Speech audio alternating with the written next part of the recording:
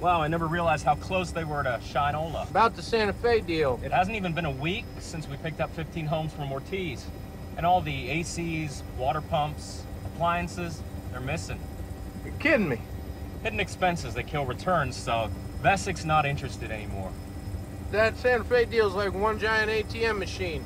What can I do to get Vesik back into those homes? I just don't think that's gonna be possible. How about this? I'll put brand new appliances into all 15 of those homes. I tell you what, you put brand new ACs, appliances, water pumps in any of the 100 homes that need them, you got yourself a deal. Appliances, yeah. ACs and water pumps, no. Okay. But the homes have to be vacated in 30 days. Put it in writing, it's a deal. I can't do it anymore. I can't support her killing herself. She doesn't want to lose a child. We already lost our child. Five years ago, Madeline, she was two. They were walking down the sidewalk. Maddie wanted to run. Rita let go of her hand so she could run. Maddie tripped, she hit her head, and she was gone, four feet away from her mother. It's just a freak thing, you know? But Rita will always believe it's because she let go of her hand. I'm sorry. And then when Rita got her diagnosis, we never thought we'd have another child. We knew with her heart what it would do to her. And when she got pregnant, it was an accident. And I begged, I begged her not to have a baby, but she just. She wouldn't let it go. Yeah. Now I'm gonna lose them both. Okay. Maybe I knew him. How much was he into you for? By the time he got to me, he was already on his ass. No cash at all. He was giving me goods, watches, cufflinks. And then a couple weeks ago, he shows up with a hundred grand, wants USC over Arizona. Where do you get the money? That's the thing. I told him not to go to this guy. Honestly, Arizona gets that field goal in sudden death. My first thought was about Joel's kneecaps. Sammy, a name?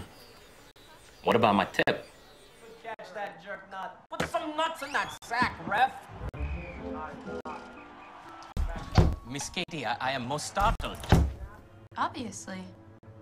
All right, all right. Don't hate me. Okay, don't hate me. I'm sorry. But my name ain't Ravi. It's Tony.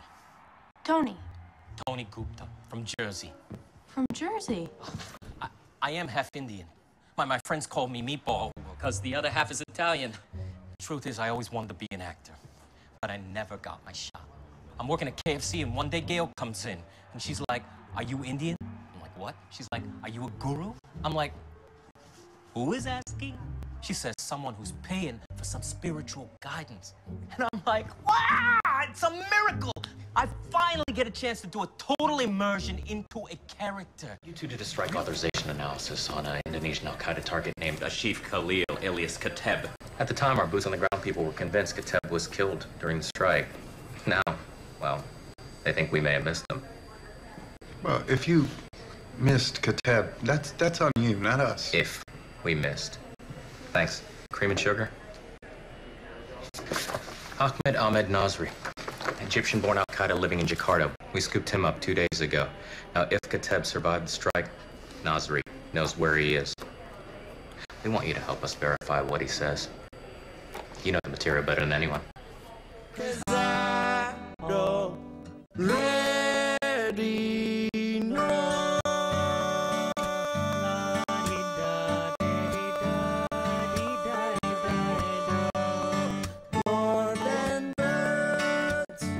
Daddy